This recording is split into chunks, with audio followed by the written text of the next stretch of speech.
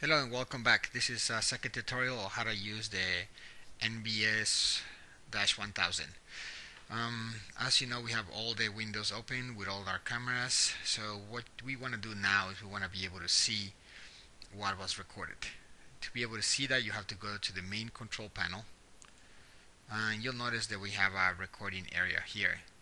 So what we want to do is we want to press um, record and playback. When you do that, you're going to notice your devices on the right hand side. Um, and the, here's your dates. You can set up the date. So for example, today is the 28th. I'm going to pick another date. I know I was recording on the 27th, so I'm going to go to the 27th. As you notice right here on the top, you see the 427 2015. What you want to do now is you want to pick your your camera that you want to view the recording. So I'm going to say that will be camera number one. I'm going to grab it and drag it. Okay.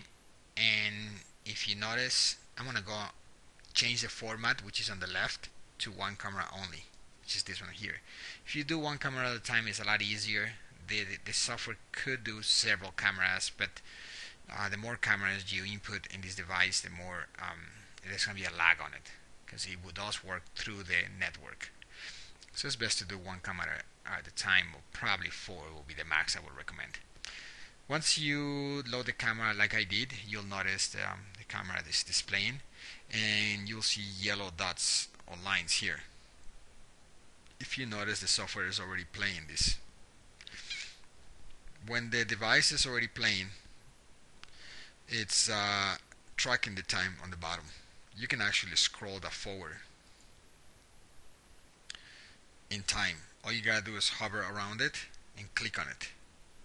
If you notice there's some spots they have not been recorded because there was no movement. The device only records when there's movement. If there's no movement, it will not record. You can jump back and forward, back and forward. When you get the time that you want to save, you gotta log it in. As you can see right now, it is the 27 841 if something happened here what you really want to do is you want to log in the time and the camera that you are working with.